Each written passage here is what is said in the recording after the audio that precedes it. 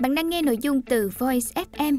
Hãy lên App Store tìm V O I Z và cài đặt ngay để tận hưởng hơn 10.000 nội dung chất lượng cao có bản quyền nhé.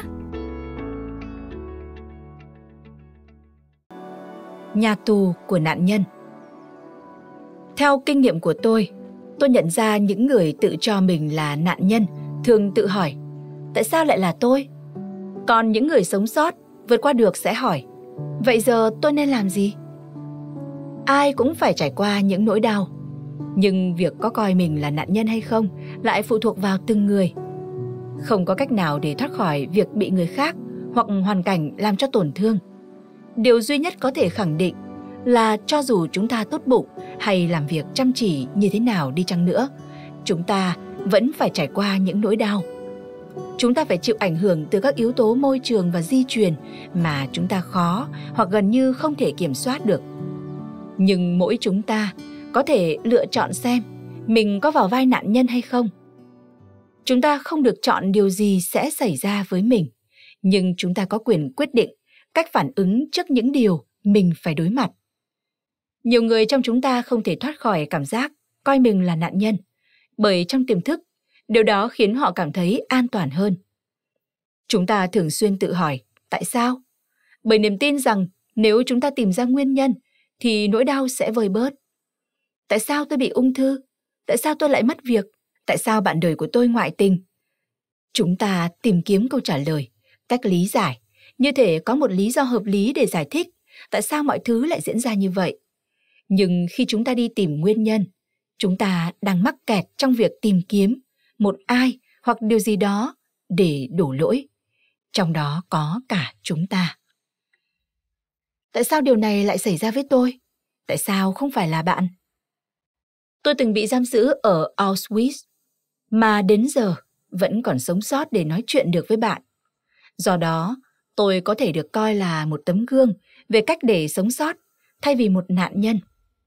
Tôi sẽ hỏi, vậy giờ nên làm gì? Thay vì tại sao lại là tôi? Thay vì chỉ quan tâm đến lý do tại sao điều tồi tệ này đã hoặc đang xảy ra, hãy quan tâm đến những gì tôi có thể làm để vượt qua điều này. Tôi không tìm kiếm một vị cứu tinh hay một người thế tội. Thay vào đó, tôi bắt đầu xem xét các lựa chọn và khả năng. Cha mẹ tôi không có quyền lựa chọn cách kết thúc cuộc sống của họ, nhưng tôi có nhiều sự lựa chọn. Tôi có thể chọn cảm giác tội lỗi vì tôi được sống sót, trong khi hàng triệu người, bao gồm cả cha mẹ tôi, đã thiệt mạng. Hoặc tôi có thể chọn sống, làm việc và chữa lành bằng cách vượt qua nỗi đau quá khứ. Tôi có thể sử dụng sức mạnh và sự tự do của mình. Việc coi mình là nạn nhân khiến tâm trí tôi rơi vào trạng thái đóng băng. Chúng ta mắc kẹt trong quá khứ, mắc kẹt trong nỗi đau và mắc kẹt trong những mất mát. Những gì tôi không thể làm và những gì tôi không có. Phương pháp đầu tiên để thoát khỏi tình trạng coi mình là nạn nhân là tiếp cận bất cứ điều gì đang diễn ra bằng một sự chấp nhận nhẹ nhàng. Điều này không có nghĩa là bạn phải yêu thích những điều đang xảy ra. Nhưng khi bạn ngừng chiến đấu và kháng cự, bạn có nhiều năng lượng và trí tưởng tượng hơn để sẵn sàng tìm ra câu trả lời cho vấn đề. Bây giờ tôi nên làm gì? Để tiến về phía trước, thay vì trạng thái bất định, không biết đi đâu về đâu. Để khám phá những gì bạn muốn và cần trong thời điểm này, và nơi bạn muốn đi đến từ đây. Mọi hành vi đều nhằm thỏa mãn một nhu cầu. Nhiều người trong chúng ta lựa chọn sống với cảm giác mình là nạn nhân, bởi lựa chọn này cho phép chúng ta không cần làm gì cả. Tự do luôn đi kèm với một cái giá. Chúng ta được yêu cầu phải chịu trách nhiệm về hành vi của mình ngay cả trong những tình huống chúng ta không gây ra hay không chọn lựa cuộc sống luôn tràn ngập những điều bất ngờ Emily là một bà mẹ hai con và đang có một cuộc hôn nhân hạnh phúc kéo dài 11 năm. Vài tuần trước lễ Giáng sinh, vào một buổi tối sau khi bọn trẻ đi ngủ, cô ngồi xuống cạnh chồng mình. Cô định đề nghị hai vợ chồng cùng xem một bộ phim, thì chồng cô nhìn cô ấy và bình tĩnh nói những lời sẽ làm đảo lộn hoàn toàn cuộc đời cô. Anh ấy nói, anh đã gặp một người. Bọn anh yêu nhau anh nghĩ cuộc hôn nhân của chúng ta nên dừng lại. Emily hoàn toàn dối bời. Cô thấy con đường phía trước thật mờ mịt. Và một điều bất ngờ khác ập đến. Cô bị ung thư vú. Một khối u lớn cần tiến hành hóa trị ngay lập tức. Trong những tuần điều trị, cô cảm thấy toàn thân tê liệt. Chồng cô đã tạm ngừng thảo luận về việc ly hôn của họ để giúp đỡ cô vượt qua thời gian hóa trị. Nhưng Emily vẫn bàng hoàng không biết làm gì. Cô chia sẻ, tôi nghĩ toàn bộ cuộc sống của tôi đã đi đến hồi kết. Tôi nghĩ mình sắp chết. Nhưng khi tôi nói chuyện với cô ấy 8 tháng sau khi chẩn đoán bị ung thư, cô vừa trải qua một cuộc phẫu thuật và nhận được tin bất ngờ hơn. Cô đã hoàn toàn khỏi bệnh. Cô cho biết, các bác sĩ không thể dự đoán được điều đó. Đây thực sự là một điều kỳ diệu. Khối u của cô ấy đã biến mất và chồng cô cũng vậy. Sau khi cô kết thúc hóa trị, anh ấy nói với cô rằng anh đã đưa ra quyết định của mình. Anh ấy đã thuê một căn hộ. Anh ấy muốn ly hôn. Emily nói với tôi. Tôi rất sợ khi phải đối mặt với cái chết. Bây giờ tôi cần phải học cách sống thật tốt. Cô héo hon vì những nỗi lo lắng về con cái, sự tổn thương do bị phản bội, những lo âu về tài chính và sự cô đơn. Chúng lớn đến mức khiến cô như đang rơi xuống vực thẳm. Tôi vẫn cảm thấy thật khó để bình thản đón nhận mọi điều. Cô bày tỏ. Cuộc ly hôn đã khiến nỗi sợ hãi tồi tệ nhất trở thành sự thật. Đó là nỗi kinh hoàng sâu kín về việc bị bỏ rơi mà cô đã chịu đựng từ khi lên 4 tuổi. Khi đó, mẹ cô bị trầm cảm nghiêm trọng. Bố cô ấy im lặng trước bệnh tình của mẹ cô. Ông cắm đầu vào công việc, bỏ mặc Emily tự làm mọi việc. Sau đó, mẹ cô đã chọn cách tự tử. Đây là một thực tế, dù cô biết, nhưng vẫn tìm cách trốn tránh. Những người bạn yêu thương sẽ ra đi. Cô cho biết, từ khi tôi 15 tuổi, tôi luôn ở bên ai đó. Tôi chưa bao giờ học cách tự tạo ra hạnh phúc cho chính mình, tự yêu bản thân mình. Giọng cô ấy như vỡ òa khi nhắc đến những từ yêu bản thân mình. Tôi thường nói rằng chúng ta cần cho con cái một mái ấm, chắp cánh cho chúng và chúng ta cũng cần làm điều đó cho chính mình. Người duy nhất bạn có là chính bạn. Bạn được sinh ra một mình bạn ra đi một mình. Vì vậy, hãy bắt đầu bằng việc thức dậy vào buổi sáng và soi gương. Hãy nhìn vào mắt mình và nói, tôi yêu bạn. Tôi sẽ không bao giờ rời xa bạn. Hãy ôm lấy chính mình, hôn chính mình. Hãy thử làm điều đó. Hãy luôn quan tâm đến bản thân mình trong suốt cả ngày, với từng ngày trôi qua. Nhưng tôi phải đối diện với chồng tôi như thế nào? Emily hỏi. Khi chúng tôi gặp nhau, anh ấy có vẻ hoàn toàn bình tĩnh và thoải mái. Anh ấy hài lòng với quyết định của mình. Nhưng mọi cảm xúc của tôi đều được bộc lộ ra ngoài. Tôi bắt đầu khóc. Tôi không thể kiểm soát được bản thân khi nhìn thấy chồng mình. Tôi nói với cô ấy rằng cô có thể làm được nếu cô muốn. Nhưng cô phải thực sự mong muốn Tôi không thể khiến cô muốn làm gì. Tôi không có sức mạnh đó. Chỉ có cô mới làm được điều đó. Đưa ra quyết định.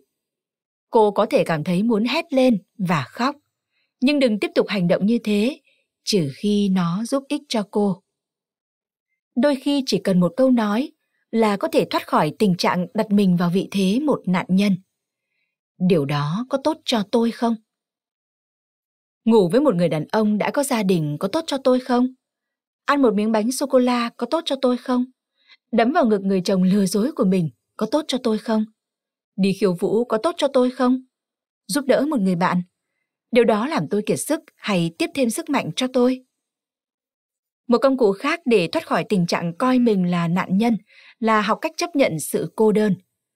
Đây là điều mà hầu hết mọi người trong chúng ta cảm thấy sợ hãi nhất nhưng khi bạn biết cách yêu chính mình bạn sẽ nhận ra cô đơn không có nghĩa là cô độc tôi khuyên emily rằng yêu bản thân không chỉ tốt cho cô mà còn tốt cho cả các con của cô.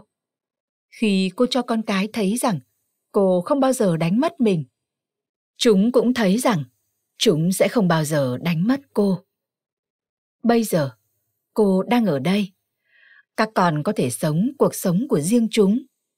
Thay vì cô phải lo lắng cho con hay con lo lắng cho cô, rồi tất cả mọi người đều phải lo lắng, tiếp tục lo lắng. Cô hãy nói với con cái và với chính bản thân rằng Mẹ ở đây, mẹ ở đây vì các con. Cô sẽ cho các con và chính cô điều cô chưa từng có. Một người mẹ khỏe mạnh và tràn đầy năng lượng tích cực. Khi chúng ta bắt đầu yêu bản thân, chúng ta bắt đầu vá những lỗ hổng trong trái tim mình. Những khoảng trống khiến chúng ta cảm thấy như sẽ không bao giờ lấp đầy được. Và chúng ta bắt đầu khám phá. Chúng ta sẽ thốt lên. Ồ, trước đây tôi không hiểu điều đó. Khi tôi hỏi Emily về điều cô ấy đã khám phá ra trong 8 tháng đầy biến động vừa qua, đôi mắt cô trở nên long lanh rạng rỡ. Tôi đã khám phá ra xung quanh mình có bao nhiêu người tuyệt vời, gia đình, bạn bè của tôi, những người mà tôi chưa từng quen biết đã trở thành bạn bè trong quá trình tôi trị liệu cho họ. Khi bác sĩ thông báo tôi bị ung thư, tôi nghĩ rằng vậy là chấm hết. Nhưng giờ đây, tôi đã gặp được thêm rất nhiều người. Tôi biết rằng mình có thể chiến đấu và trở nên mạnh mẽ. Dù phải mất tận 45 năm để nhận ra được điều này, nhưng tôi vẫn cảm thấy vô cùng may mắn. Cuộc đời mới của tôi chỉ vừa mới bắt đầu thôi. Tất cả chúng ta đều có thể tìm thấy sức mạnh và sự tự do, ngay cả trong những hoàn cảnh bi đát nhất. Bạn thân mến, trách nhiệm là của bạn. Vì vậy hãy chịu trách nhiệm về chính mình. Đừng như cô bé lọ lem, chỉ biết ngồi trong bếp, đợi một anh chàng cuồng chân. Không hề có hoàng tử hay công chúa nào cả. Bên trong bạn có tất cả tình yêu và sức mạnh bạn cần. Vì vậy hãy viết ra những gì bạn muốn đạt được, cuộc sống bạn muốn có, mẫu bạn đời bạn muốn tìm kiếm. Khi bạn đi ra ngoài, hãy sửa soạn làm sao để trông thật hấp dẫn. Tham gia vào một nhóm những người đang đối mặt với những vấn đề tương tự. Đây là nơi các bạn có thể quan tâm lẫn nhau và cam kết thực hiện một điều gì đó lớn hơn chính bản thân mình và hãy luôn giữ sự tò mò. Điều gì sẽ xảy ra tiếp theo? Mọi chuyện sẽ diễn ra như thế nào? Tâm trí chúng ta nghĩ ra đủ mọi cách tuyệt vời để bảo vệ chính mình. Coi mình là nạn nhân, là một lá chắn đầy cám dỗ, bởi nó gợi ra suy nghĩ rằng nếu chúng ta vô tội, chúng ta sẽ cảm thấy bớt đau đớn hơn. Nếu Emily vẫn coi cô ấy là nạn nhân, cô có thể đổ mọi lỗi lầm và trách nhiệm về hạnh phúc của mình lên chồng cũ.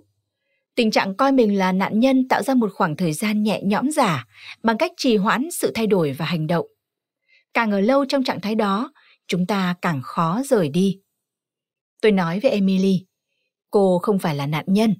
Đó không phải là con người của cô, mà là những điều đã xảy ra với cô. Chúng ta có thể bị tổn thương và phải chịu trách nhiệm có bổn phận và vô tội. Chúng ta có thể từ bỏ lợi ích phụ của việc coi mình là nạn nhân để đạt được lợi ích lớn hơn là phát triển, chữa lành và tiến lên phía trước. Toàn bộ lý do để cố gắng thoát khỏi vị thế nạn nhân là để chúng ta tiếp tục bước đi trong phần còn lại của cuộc đời mình. Bác Bà đang cố gắng vượt qua điểm then chốt này khi bà liên lạc với tôi sau khi mẹ bà qua đời được một năm. Bà ấy trông trẻ hơn so với tuổi 64 của mình. Làn da mịn màng, gầy lai trên mái tóc dài màu vàng. Tuy nhiên, khi nhìn vào đôi mắt xanh to tròn của bác Bara, tôi thấy hình như bà đang phải mang một gánh nặng nào đó thì phải. Mối quan hệ của bác Bara với mẹ bà rất phức tạp. Do đó, nỗi đau của bà ấy cũng phức tạp. Mẹ của bác Bara luôn đòi hỏi và muốn kiểm soát con gái. Việc này khiến tình trạng đặt mình vào vị thế nạn nhân của bác Bara thêm trầm trọng. Mẹ bà luôn trì chiết những vấn đề nhỏ nhặt như điểm số hay những cuộc chia tay, khiến bác Bara ngày càng tin rằng bà ấy có nhiều thiếu sót, vô dụng và vô tích sự. Về mặt nào đó, thật nhẹ nhõm khi thoát khỏi quan điểm chỉ trích và méo mó của mẹ bà ấy. Nhưng bà cũng cảm thấy bồn chồn và bất an. Gần đây bà gặp chấn thương ở lưng nên đã phải tạm dừng công việc yêu thích tại một quán cà phê địa phương. Ban đêm, bà luôn trằn trọc khó ngủ. Đầu óc cứ quay cuồng với những câu hỏi. Thời gian của tôi sắp hết rồi phải không? Còn việc gì mà tôi không làm được? Tôi phải làm gì để họ nhớ đến tôi? Tôi sẽ có kết cục ra sao? Bà ấy tâm sự. Tôi cảm thấy buồn, lo lắng và bất an. Tôi không thể tìm thấy sự bình yên. Tôi nhận thấy tình trạng này thường xảy ra với những phụ nữ trung niên mất mẹ. Mối quan hệ tình cảm không trọn vẹn vẫn tồn tại và dường như cái chết khiến mối quan hệ này không thể giải quyết được vấn đề một cách triệt để. Bà đã tha thứ cho mẹ của mình về những chuyện trong quá khứ chưa? Tôi hỏi bà ấy. Barbara lắc đầu, đôi mắt bà ngấn lệ. Có thể rơi nước mắt là một dấu hiệu tốt. Những giọt nước mắt là dấu hiệu cho thấy chúng ta đã phá tan vỏ bọc để bộc lộ cảm xúc thật của mình. Nếu câu hỏi của tôi khiến bệnh nhân bật khóc, đó là một sự thành công. Chúng tôi đã đánh đúng vào một điều gì đó quan trọng. Tuy nhiên, khoảnh khắc được giải thoát đó vừa dễ bị tổn thương lại vừa sâu sắc. Tôi sẵn sàng chấp nhận mọi thử thách, tất cả đều quan trọng, không có gì phải vội vàng. Bác Bara lau nước mắt và hít một hơi sâu, run rẩy. Bà nói: Tôi muốn hỏi bà về một thứ. Đó là một kỷ niệm thời thơ ấu, cứ lặp đi lặp lại, không ngừng trong tâm trí tôi. Tôi yêu cầu bà nhắm mắt lại, trong khi mô tả sự việc. Kể mọi việc bằng thì hiện tại, như thể nó đang xảy ra ngay bây giờ. Bà ấy bắt đầu kể. Tôi là con thứ ba trong nhà. Tất cả chúng tôi đang ở trong bếp. Bố tôi đang ngồi ở bàn ăn sáng. Mẹ tôi đang chăm chú quan sát tôi và anh trai. Bà ấy giận dữ. Bà ấy xếp chúng tôi lần lượt cạnh nhau và hỏi. Các con thích ai nhất? Mẹ hay bố? Bố tôi đang quan sát sự việc và ông ấy bắt đầu khóc. Ông ấy nói, đừng làm vậy, đừng làm điều đó với bọn trẻ. Tôi muốn nói rằng, tôi yêu bố tôi nhất. Tôi muốn đến ngồi trong lòng và ôm lấy ông. Nhưng tôi không thể làm vậy. Nếu tôi nói rằng tôi yêu bố, thì tôi sẽ làm cho mẹ nổi điên lên. Tôi sẽ gặp rắc rối. Vì vậy tôi nói rằng tôi yêu mẹ nhất. Và bây giờ, giọng bà đứt quãng, nước mắt lăn dài trên má. Bây giờ tôi ước mình có thể rút lại những lời nói đó. Tôi khen ngợi bà ấy. Bà là một người rất tốt. Bà đã đưa ra quyết định đúng đắn. Bà đã làm những gì phải làm để tồn tại. Bà thắc mắc. Vậy tại sao tôi lại cảm thấy đau đớn? Tại sao tôi không thể quên được việc này? Bởi cô con gái nhỏ đó không biết bây giờ mình đã an toàn. Hãy đưa tôi đến chỗ cô ấy trong nhà bếp. Tôi hướng dẫn bà.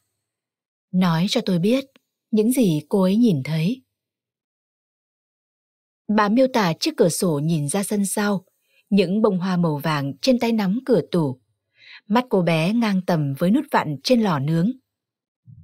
Hãy nói chuyện với cô gái nhỏ đó. Bây giờ cô bé cảm thấy thế nào? Tôi yêu bố mình, nhưng tôi không thể nói ra điều đó. Tôi thật bất lực.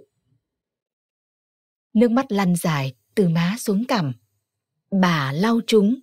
Sau đó, đôi bàn tay bưng lấy mặt. Tôi nói, khi đó, bà còn là một đứa trẻ. Bây giờ bà đã là người lớn. Hãy đến bên cạnh cô bé đáng quý, có một không hai đó. Hãy trở thành mẹ của cô ấy ngay bây giờ. Hãy nắm lấy tay cô bé ấy và nói với cô bé, mẹ sẽ đưa con ra khỏi đây. Đôi mắt của bác Bara vẫn nhắm nghiền, người lắc lư sang hai bên. Tôi tiếp tục hướng dẫn. Hãy nắm tay cô bé, dẫn cô bé ra cửa, xuống bậc thềm trước, ra vỉa hè, đưa cô ấy đi qua các dãy nhà, quẹo qua góc đường. nói với cô bé còn không còn bị mắc kẹt ở đó nữa nhà tù của các nạn nhân thường được hình thành từ thời thơ ấu và ngay cả khi chúng ta đã trưởng thành thì nó vẫn có thể khiến chúng ta cảm thấy bất lực như khi chúng ta còn thơ bé chúng ta có thể giải thoát mình khỏi tình trạng nạn nhân bằng cách giúp đứa trẻ bên trong đó cảm thấy an toàn và để chúng trải nghiệm thế giới với quyền tự chủ của một người trưởng thành. Tôi hướng dẫn Barbara tiếp tục nắm tay cô bé bị tổn thương ấy, đưa cô bé đi dạo, cho cô bé ngắm nhìn những bông hoa trong công viên. Hãy nuông chiều và yêu thương cô bé. Đưa cho cô bé một que kem hoặc một con gấu bông để ôm, hay bất cứ thứ gì cô ấy muốn để cảm thấy an toàn. Và sau đó, đưa cô bé xuống bãi biển. Hãy chỉ cho cô ấy cách đá cát. Nói với cô ấy rằng, tôi ở đây với bạn và chúng ta sẽ xả sự tức giận ra bên ngoài. Nghịch cát với cô bé là hét thỏa thích. Sau đó đưa cô ấy về nhà. Không phải trở lại nhà bếp, mà là nơi bà sống bây giờ. Nơi mà bà sẽ luôn bên cạnh để chăm sóc cô bé. Đôi mắt của bác Bara vẫn nhắm, miệng bà ấy đã thả lỏng hơn, nhưng một nét căng thẳng nào đó vẫn tụ lại nơi khóe mắt. Tôi nói, cô bé ấy bị mắc kẹt trong nhà bếp và cần được bà đưa ra ngoài. Bà phải giải thoát cho cô bé ấy. Bà chậm rãi gật đầu, nhưng sự căng thẳng vẫn chưa biến mất trên khuôn mặt. Công việc của bà ấy trong nhà bếp vẫn chưa hoàn thành, vẫn còn những người khác phải giải cứu. Tôi tiếp tục. Mẹ của bà cũng cần bà giải cứu. Bà ấy vẫn đang đứng trong căn bếp đó. Hãy mở cửa cho bà ấy. Nói với bà ấy rằng đã đến lúc cả hai người được tự do. Bác Bara tưởng tượng trước tiên sẽ đến chỗ người cha, đi tới bàn ăn sáng, nơi ông vẫn ngồi im lặng. Má ông ướt đẫm nước mắt. Bà hôn lên trán ông và bày tỏ tình yêu mà bà từng phải che giấu khi còn nhỏ. Sau đó, bà đi về phía mẹ. Bà đặt một tay lên vai mẹ, nhìn vào đôi mắt bối rối và gật đầu về phía cánh cửa đang mở. Từ nơi họ đứng, có thể nhìn thấy bãi cỏ xanh mướt. Khi bác Bara mở mắt ra, mặt và vai bà ấy dường như đã thả lỏng hơn. Bà ấy nói lời cảm ơn với tôi. Giải phóng bản thân khỏi tình trạng nạn nhân cũng đồng nghĩa với việc giải phóng những người khác khỏi trách nhiệm mà chúng ta đã tự ý gán cho họ. Tôi đã có cơ hội tự mình áp dụng phương pháp này vài tháng trước khi tôi đang đi diễn thuyết ở châu Âu và mời con gái của tôi, Audrey, đi cùng. Hồi còn học trung học, con bé được huấn luyện như một vận động viên bơi lội Olympic trẻ. Phải thức dậy từ lúc 5 giờ sáng để luyện tập và mái tóc con bé còn chuyển sang màu xanh do phải thường xuyên tiếp xúc với clo trong bể bơi. Chồng tôi thường là người đồng hành với Audrey trong các cuộc thi bơi lội ở khắp Texas và vùng Tây Nam nước Mỹ. Cách Bella và tôi xoay sở để đáp ứng các nhu cầu của cả sự nghiệp cũng như nhiệm vụ chăm sóc ba đứa con là chúng tôi trở thành những người cộng sự và phân chia trách nhiệm rõ ràng. Nhưng điều đó có nghĩa là mỗi người chúng tôi đều phải bỏ lỡ một vài điều. Việc bây giờ đi du lịch cùng Audrey không thể thay thế được khoảng thời gian chúng tôi đã bỏ lỡ khi nó còn bé. Nhưng có vẻ đây là một cách thú vị để thể hiện sự trân trọng dành cho mối quan hệ giữa hai chúng tôi. Hơn nữa, lần này tôi mới là người cần có người đi kèm. Chúng tôi đến Hà Lan, sau đó đến Thụy Sĩ. Ở đó, chúng tôi sẽ đắm chìm trong những chiếc bánh ngọt Napoleon một đậm đà và ngọt ngào, giống như những chiếc bánh mà cha tôi thường lén đem về nhà cho tôi vào buổi tối khi ông ấy đi chơi bia. Chú thích Bánh Napoleon là loại bánh có xuất xứ từ vùng Naples của nước Ý. Hết chú thích. Kể từ sau chiến tranh, tôi đã nhiều lần quay lại châu Âu. Tôi luôn cảm thấy tốt hơn rất nhiều khi ở đó, nơi gắn liền với tuổi thơ và những tổn thương tôi đã trải qua. Tôi thường cùng với đứa con gái giỏi giang của mình ngồi lặng lẽ bên nhau hoặc trò chuyện, lắng nghe kế hoạch bắt đầu sự nghiệp thứ hai của con bé với tư cách là một người hướng dẫn người khác kiểm soát nỗi đau. Một buổi tối nọ, sau khi tôi có bài phát biểu trước rất nhiều các giám đốc điều hành toàn cầu tại một trường kinh doanh ở Lausanne, tôi đã ngạc nhiên khi có một người hỏi Bà cảm thấy thế nào khi đi du lịch cùng Audrey, con gái bà? Tôi đã cố gắng tìm các từ ngữ để diễn đạt hết sự đặc biệt của khoảng thời gian này đối với tôi. Tôi đề cập đến việc những đứa con ở giữa thường ít nhận được sự quan tâm trong gia đình. Audrey đã được chị gái Mariani nuôi dạy. Trong khi đó, tôi bận rộn với đứa em trai của chúng, John, đi khắp El Paso, thậm chí là đến tận Baltimore để tìm kiếm các liệu pháp điều trị những triệu chứng của chậm phát triển chưa được chẩn đoán. John tốt nghiệp Đại học Texas và là một trong 10 sinh viên giỏi nhất lớp. Hiện nó đã trở thành chủ tịch thành phố, được nhiều người tín nhiệm và là người ủng hộ những người khuyết tật. Tôi luôn biết ơn vì nó đã nhận được sự can thiệp, giúp đỡ và hỗ trợ cần thiết. Nhưng tôi luôn cảm thấy có lỗi vì những nhu cầu riêng của John đã chiếm hết sự chú ý của tôi và làm ảnh hưởng đến tuổi thơ của Audrey. Vì khoảng cách 6 tuổi giữa Mariani và Audrey, vì chấn thương tâm lý của tôi đã tạo ra gánh nặng cho các con tôi. Được công khai nói ra điều này mà không hề chuẩn bị trước giúp tôi cảm thấy như được giải tỏa vậy. Cảm giác thật tuyệt khi thừa nhận điều đó và được nói lời xin lỗi. Nhưng tại sân bay vào sáng hôm sau, Audrey thẳng thắn nói với tôi. Mẹ, chúng ta phải thay đổi câu chuyện về con. Con không coi mình là nạn nhân, con không muốn mẹ nhìn nhận con như vậy nữa. Ngực tôi thắt lại vì khó chịu, vì sự vội vàng để tự vệ. Tôi nghĩ rằng mình đã miêu tả con bé như một người sống sót, không phải một nạn nhân. Nhưng con bé hoàn toàn đúng. Để cố gắng chút bỏ cảm giác tội lỗi của mình, tôi đã đặt con bé vào vai đứa trẻ bị bỏ rơi. Tôi gắn các vị trí cho tất cả chúng tôi. Tôi là kẻ có tội, Audrey là nạn nhân, còn Mariani là người giải cứu.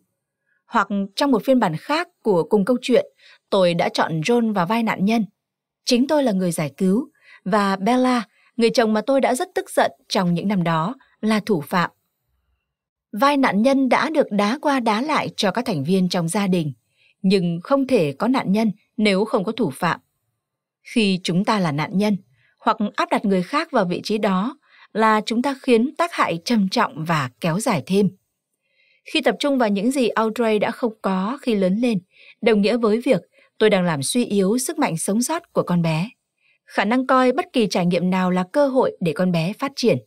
Và tôi đang tự giam mình trong ngục tù tội lỗi. Vào giữa những năm 70 của thế kỷ trước, khi đang là bác sĩ thực tập lâm sàng tại Trung tâm Y tế quân đội William Beaumont, lần đầu tiên tôi thấy được sức mạnh của việc thay đổi quan điểm từ nạn nhân sang người sống sót được thể hiện qua hành động. Một ngày nọ, tôi được giao cho hai bệnh nhân mới. Cả hai đều là cựu chiến binh tham chiến tại Việt Nam. Họ đều liệt nửa người, bị tổn thương vùng cột sống thắt lưng và đều không thể đi lại được. Họ có cùng một chẩn đoán, cùng một dự đoán về tốc độ tiến triển của bệnh. Người đầu tiên đầy thịnh nộ, dành hàng giờ nằm cuộn tròn trong tư thế bảo thai trên chiếc giường của mình. Nguyên rủa Chúa và đất nước. Người còn lại thích ra khỏi giường, ngồi lên trên chiếc xe lăn của mình. Ông ấy nói với tôi. Tôi đang tìm thấy mọi thứ theo một cách khác biệt. Hôm qua các con đã đến thăm tôi. Và bây giờ, khi tôi ngồi trên chiếc xe lăn này, tôi gần với tầm mắt chúng hơn rất nhiều. Ông ấy không hề vui khi bị tàn tật, luôn chăn trở liệu mình còn có thể chạy thi với con gái hay khiêu vũ trong đám cưới của con trai hay không. Nhưng ông ấy nhận ra rằng chấn thương này đã cho ông một góc nhìn mới và ông ấy có thể lựa chọn hoặc coi chấn thương của mình là điều gây ra những hạn chế và làm mất hết khả năng hoặc coi đó là động lực để ông ấy cố gắng hơn. Hơn 40 năm sau, vào mùa xuân năm 2018, tôi được chứng kiến con gái Mariani của tôi cũng đưa ra lựa chọn tương tự. Khi đang đi du lịch ở Ý với chồng, Rob, con bé đã vấp phải một bậc đá và bị ngã vập đầu dẫn đến chấn thương sọ não. Trong suốt hai tuần, chúng tôi không biết liệu nó có qua khỏi hay không. Hoặc nếu sống sót thì con bé sẽ trở nên như thế nào. Nó có thể nói được không? Liệu con bé có nhớ những đứa con của mình? Ba đứa con trai dễ thương của nó? Nhớ Rob, nhớ anh chị em và cả tôi không? Trong suốt những ngày tháng thật sự khó khăn đó, khi không biết chuyện gì sẽ xảy ra với con bé, hết lần này đến lần khác, tôi đã chạm vào chiếc vòng mà Bella tặng tôi khi mới sinh Mariani. Chiếc vòng đó được bện từ ba sợi dây vàng khác nhau. Khi chúng tôi vội vã rời tiệp khắc vào năm 1949, tôi đã lén mang nó giấu trong tã của Mariani. Kể từ đó, tôi đã đeo nó hàng ngày như một lá bùa hộ mệnh tượng trưng cho cuộc sống và tình yêu vẫn luôn hiện diện ngay trong sự hủy diệt và chết chóc. Là một lời nhắc nhở rằng sự sống vẫn luôn chiến thắng và giúp chúng ta vượt qua mọi khó khăn. Đối với tôi, không có cảm giác nào kinh khủng hơn là sợ hãi xen lẫn bất lực. Sự đau đớn của Mariani khiến tôi đau thấu tâm can. Tôi sợ rằng chúng tôi sẽ vượt mất con bé và không có gì chắc chắn có thể chữa lành cho con bé hoặc ngăn chặn điều tồi tệ nhất xảy ra. Nỗi sợ hãi cứ tăng dần. Tôi thường lầm nhầm tên ở nhà bằng tiếng Hungary của con bé. Machuka, Machuka. Những âm tiết này giống như một lời cầu nguyện. Tôi nhận ra đó là những gì tôi đã làm ở Auschwitz khi phải nhảy múa trước Joseph Mengele. Chìm vào trong tâm trí, tạo ra một nơi trú ẩn an toàn bên trong. Đó là nơi giữ cho tinh thần của tôi được bình an trong sự hỗn loạn trước những đe dọa và bất chắc. Nhờ một phép màu nào đó, Mariani đã sống sót. Những tuần đầu sau khi bị ngã, con bé không hề nhớ gì cả. Có lẽ nó cũng đã chìm vào nơi trú ẩn an toàn bên trong của mình. Nhưng nhờ sự chăm sóc y tế tận tình, sự hỗ trợ thường xuyên của chồng và gia đình, nội lực của chính mình, con bé dần dần khôi phục các chức năng của cơ thể cũng như nhận thức và nhớ được tên các con của mình. Đầu tiên, con bé gặp khó khăn với việc nuốt thức ăn. Vị giác của nó không hoạt động. Tôi liên tục nấu cho con bé ăn, quyết tâm làm tất cả những món nó từng rất thích. Một ngày nọ, con bé đề nghị tôi nấu món trepanka, một món làm từ khoai tây ăn kèm với dưa bắp cải và brinza, một loại format của nông dân Séc. Đó là món ăn mà tôi thèm nhất khi mang thai con bé. Khi tôi nhìn nó ăn miếng đầu tiên và mỉm cười, tôi bỗng có niềm tin mãnh liệt rằng Mariani sẽ bình thường trở lại. Chỉ trong một năm rưỡi, con bé đã hồi phục hoàn toàn và hiện đang sống cũng như làm việc giống như trước khi bị chấn thương. Tràn đầy sức mạnh, thông minh, sáng tạo và nhiệt huyết. Mặc dù nhiều vấn đề trong quá trình hồi phục nằm ngoài tầm kiểm soát và khó có thể giải thích được, cộng thêm chút may mắn, nhưng tôi biết tự con bé cũng đã đưa ra những lựa chọn giúp nó tự chữa lành. Khi bạn đang trong tình trạng dễ bị tổn thương với năng lượng hạn chế, thì điều đặc biệt cần phải lưu ý là chọn cách sử dụng thời gian của bạn. Mariani đã chọn suy nghĩ như một người sống sót, tập trung vào những gì con bé cần làm để tiếp tục cải thiện, lắng nghe cơ thể để biết khi nào cần nghỉ ngơi, đồng thời cảm nhận và bày tỏ lòng biết ơn đối với sức khỏe của con bé và của tất cả những người đang hỗ trợ con bé hồi phục. Mỗi sáng thức dậy, Mariani luôn tự hỏi, hôm nay tôi sẽ làm gì? Khi nào tôi sẽ thực hiện các bài tập trị liệu của mình? Tôi muốn thực hiện những kế hoạch nào? Tôi cần làm gì để chăm sóc bản thân? Thái độ không phải là tất cả. Chúng ta không thể loại bỏ những khó khăn hay làm cho bản thân trở nên tốt đẹp chỉ bằng suy nghĩ hay quan điểm của mình. Nhưng cách chúng ta sử dụng thời gian và năng lượng tinh thần mới là yếu tố tác động tích cực đến sức khỏe của chúng ta. Nếu chúng ta kháng cự và khó chịu, phàn nàn về những gì đang diễn ra, chúng ta sẽ tước đoạt sự tiến triển và chữa lành của mình. Thay vào đó, chúng ta có thể thừa nhận điều khủng khiếp đang xảy ra và tìm cách tốt nhất để sống chung với nó. Điều này đặc biệt đúng khi chúng ta chống lại những thất bại hoặc những biến chứng trong quá trình chữa bệnh. Những tổn thương não bộ thông thường sẽ khiến bệnh nhân không còn thành thạo nhiều việc mà họ từng làm một cách dễ dàng hoặc khéo léo. Mariani vẫn đang làm việc chăm chỉ để thiết lập lại tất cả các mạng lưới neuron bị tổn thương do lần vấp ngã đó gây ra. Con bé dễ mệt mỏi khi đứng hoặc đi bộ quá nhiều. Gặp khó khăn trong việc giao tiếp. Ngoại trừ những tuần đầu sau khi hồi phục, ký ức của con bé vẫn còn nguyên vẹn. Nhưng đôi khi, con bé không thể tìm thấy từ để diễn tả một thứ gì đó như tên quốc gia nó đã đến hoặc loại rau muốn mua ở chợ nông sản. Mariani phải học những phương pháp mới để làm những việc nó từng làm một cách dễ dàng. Khi chuẩn bị cho một bài phát biểu, con bé không thể chỉ viết ra ba đầu mục chính và tin tưởng bộ não của mình sẽ ghi nhớ các mối liên hệ và lấp đầy những khoảng trống như nó làm trước khi tai nạn xảy ra. Bây giờ, nó phải viết ra toàn bộ bài phát biểu, từng từ một. Nhưng thú vị là có một vài việc mà Mariani lại làm một cách linh hoạt và thành thạo hơn trước. Con bé là một đầu bếp tại gia tài ba và từng phụ trách hẳn một chuyên mục nấu ăn trên tờ San Diego. Sau cú ngã, con bé phải tự học cách nấu ăn. Trong quá trình này, nó bắt đầu sáng tạo ra các công thức nấu ăn mới và thực hiện các quy trình cũ theo một cách mới. Hai vợ chồng Mariani hiện sống ở Manhattan. Nhưng vào mùa hè, chúng luôn cố gắng dành nhiều thời gian ở với tôi tại La Jolla. Mùa hè vừa rồi, con bé muốn nấu cho tôi món súp anh đào lạnh mà nó từng làm một lần trong bữa tiệc tối ở New York. Mariani mua một bó anh đào chua và đọc lại hai cuốn sách dạy nấu ăn cũ của Hungary. Sau đó, nó bỏ sách nấu ăn sang một bên và làm theo cách riêng của mình. Chuẩn bị món súp nguội thay vì đun nóng rồi để nguội. Thêm ba loại trái cây khác nhau. Nếu không có sự thích nghi liên tục, kể từ sau khi bị chấn thương, có lẽ con bé đã chế biến món súp theo cách làm trước đây. Thay vào đó, con bé chấp nhận việc thay đổi do tác động của vết thương gây ra và để nó hướng dẫn mình làm những điều mới mẻ. Và món súp con bé làm hôm đó cực kỳ ngon. Đôi khi tôi có thể thấy trong mắt con bé ánh lên sự mệt mỏi và bực bội do phải vất vả làm những việc mà con bé từng coi là điều hiển nhiên. Nhưng con bé cũng quen dần với những việc có thể xảy ra. Mariani nói với tôi. Buồn cười thật đó, nhưng con cảm thấy như mình đang sống theo một cách hoàn toàn khác. Khuôn mặt của nó sáng bừng lên như một đứa trẻ vừa đọc thuộc một bài thơ vậy. Nói thật là điều đó rất thú vị và hồi hộp.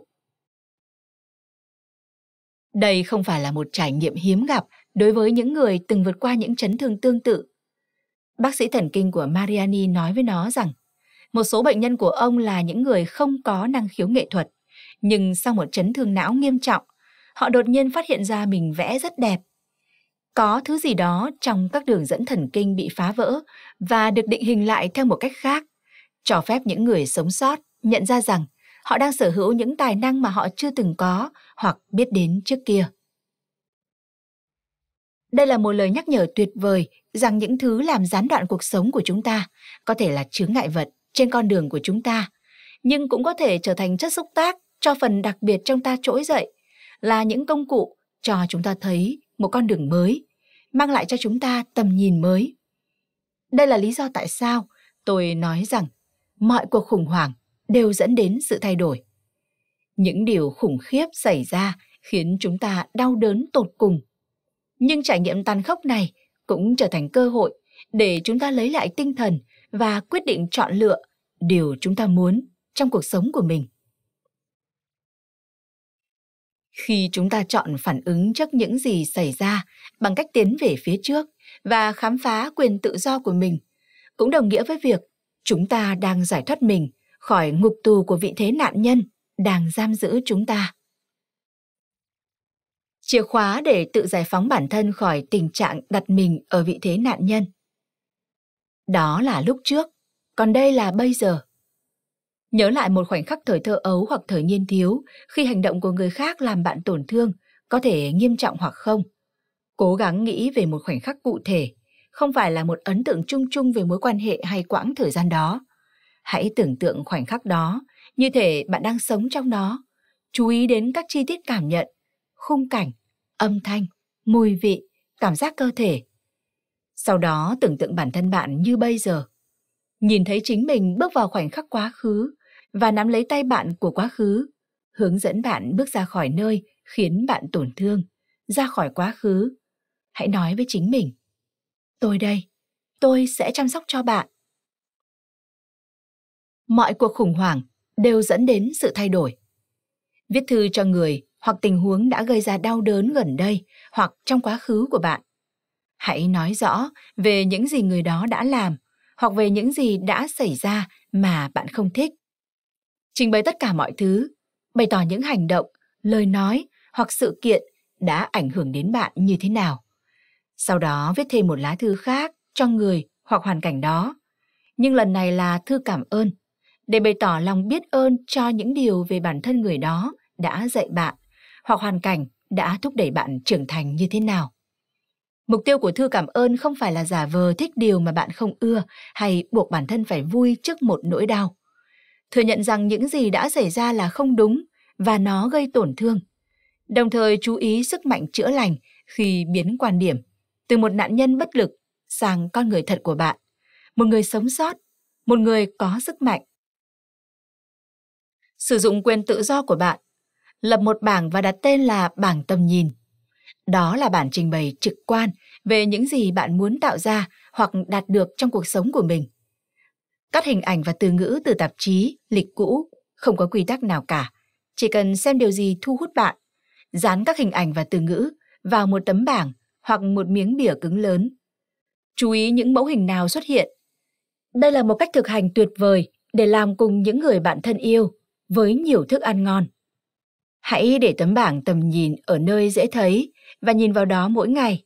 Hãy để sự sáng tạo trực quan này là mũi tên hướng dẫn để bạn theo. Hết chương 1. Vậy giờ tôi nên làm gì?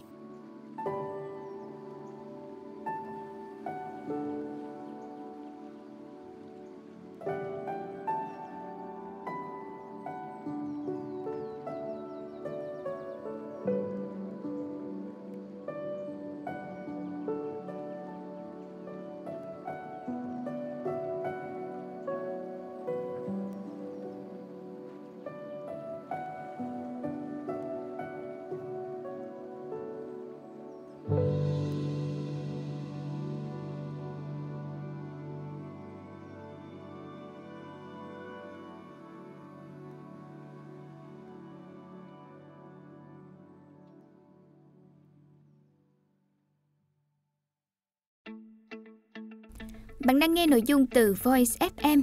Hãy lên App Store tìm V O I Z và cài đặt ngay để tận hưởng hơn 10.000 nội dung chất lượng cao có bản quyền nhé.